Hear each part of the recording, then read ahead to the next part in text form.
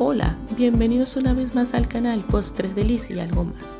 Hoy os traigo un vídeo donde os muestro cómo decorar esta tarta de pistacho.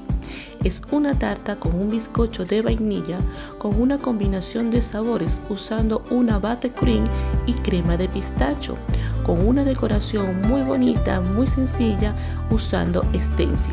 En la cajita de información te dejo el link del bizcocho de vainilla y la receta de la cream. Ahora empecemos con la decoración.